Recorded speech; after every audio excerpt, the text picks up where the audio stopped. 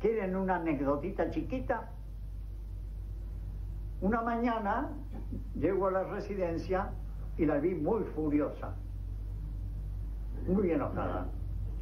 Y hablaba contra los ministros de ella, sobre todo contra Méndez San Martín, a quien lo echó de la fundación, y Perón lo mantuvo contra ella en el Ministerio de Educación, bramaba.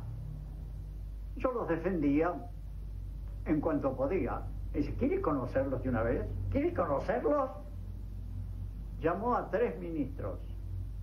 La estaban peinando el famoso peluquero de ella frente a las puertas de la biblioteca de la, en el segundo piso de la residencia. Recuerdo que estaba con las mechas así y el peluquero y me hacía gestos, ¿no? Ya estaban los tres ministros, entre ellos Méndez San Martín.